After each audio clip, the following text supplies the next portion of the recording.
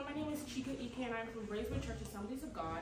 Um, the verses I have for you today in my short sermon is Jeremiah 1, verse 5 to 8, and Jeremiah 15. Today I want to talk to you about a prophet in the Old Testament that goes by the name of Jeremiah.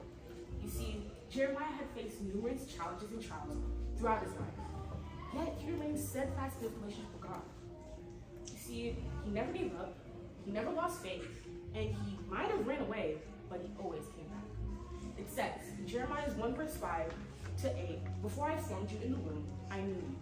Before you were born, I set you apart. I appointed you as a prophet to the nations. Alas, sovereign Lord, I said, I did not know how to speak. I am too young. But the Lord said to me, Do not say I am too young. You must go to everyone I send you to and say whatever I command you. Do not be afraid of them, for I am with you and will rescue you, declares the Lord. One of the key aspects of Jeremiah's relationship with God was his unwavering trust and obedience.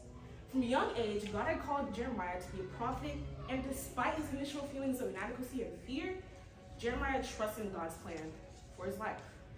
God assured that Jeremiah would be with him and would give him the words to speak.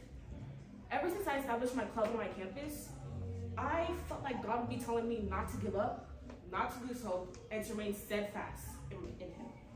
At first, it was hard, and I always felt left out, but there are some times where I was stuck and didn't know what to do.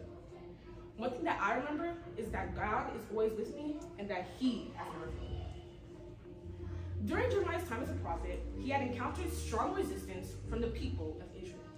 They didn't like his messages and they mistreated him for speaking the truth.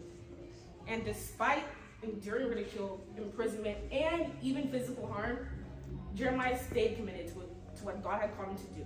He kept preaching about the consequences of people's sins. But he also shared a message of hope, saying that if they return to God, they can experience restoration and redemption. There is power in prayer. We see in Jeremiah 15 that Jeremiah's relationship with God was characterized by prayer and communion. In the midst of his trials, Jeremiah turned to God in prayer, pouring his heart out and seeking guidance and strength. He expresses doubts, fears, and frustrations to God. Yet he also expressed his faith and trust in God's Son. Despite the challenges that he had faced, Jeremiah never wavered in his commitment to God. He remained obedient to God's commands, even when it was difficult or unpopular. He continued to proclaim God's truth with boldness and courage, knowing that he was fulfilling